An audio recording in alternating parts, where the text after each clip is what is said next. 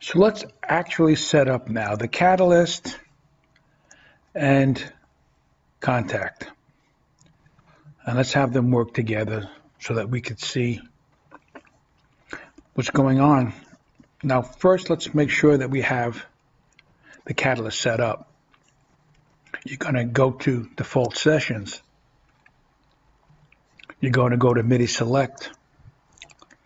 And since we are using LoopBe1 because we're connecting to a program, it would go here. If you would want to use, if you don't have that you didn't download the Kontakt 6, you can always use the output of the wavetable synth and you can hear the sounds. Uh, that may be good for creating um, those slot sequences, but for playing, it's impossible that the latency is way too high. so now we know that this is set up. and now we go to Kontakt. We have to make sure that Kontakt is set up and there's the MIDI set to LoopBe1. Now, you can also tell that it's working because see that it's connecting with this even though it's off by excuse me a little bit it, it is working okay now if it ever stops working and you're scratching your head why did, the communication stop? LoopBe1 has a monitor port. And sometimes this monitor port goes on and when it mutes everything stops. So you unmute it and everything comes back on. If you accidentally go here and you click LoopBe1, loopy one there on both of them, you will get a loop and that will cause that to go. It can't tell you how many times that bit me. So make sure this is unchecked.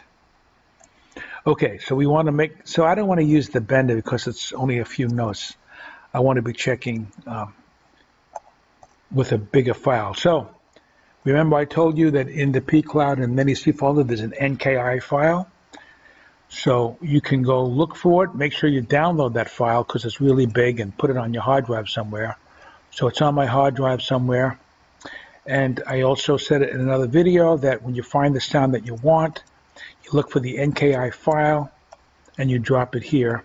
And if it complains like this, so this means you have to direct it to the folder where it was just at because it's a little stupid. Uh, uh, there it is, and then it loads in, and um, and then now we're ready to make some sounds. So now you know that you're getting it to work. If you have a uh, little keyboard, I have that little Nexus keyboard. When you hit it, you see the light blink, and you also see it working here. Now you know connectivity. Also, if you want to change the volume, by the way, these controls down here, let's say put it on channel 2, and now, whoops, I accidentally killed it, sorry. Let's go back. If I move this thing up and down, we, you can change the volume, and these things store those volumes for you.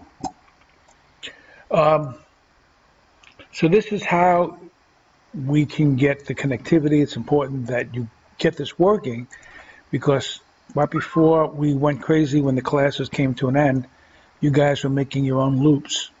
So since we can't use the programs that we have in Kontakt, you can use the files that I gave you to come with, with, with some creative slot sequences. And I guess I'll make a separate video for slot sequencing. Okay.